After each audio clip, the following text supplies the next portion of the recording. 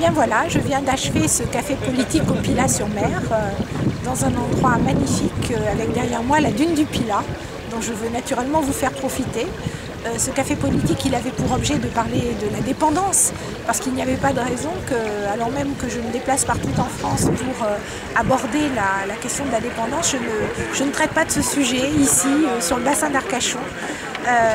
avec ma famille politique. Euh, et que nous puissions ensemble euh, évoquer euh, eh bien, tout ce qui fait débat aujourd'hui dans notre pays pour préparer le vieillissement de la population française. Et puis, et puis aussi, pas pu m'en empêcher, j'ai parlé de justice sociale. ça a été le thème de la convention de l'UMP qui s'est déroulée Salgavo à l'initiative de Jean-François Copé, qui est toujours un promoteur du, débat dans notre famille et il a raison. Et je suis venue dire à nos amis et à cette famille politique ici, au Pilat-sur-Mer, que la différence entre la politique sociale de la droite et celle de la gauche, c'est que nous, à droite, nous croyons au rétablissement social de la personne. Et ça, c'est quelque chose d'extrêmement important, qui fonde toute notre action, qui a fondé le RSA, qui a fondé la réforme des retraites, qui fonde aujourd'hui le dossier de la dépendance. Nous croyons, nous croyons au plus fort de nos convictions que les guichets sociaux,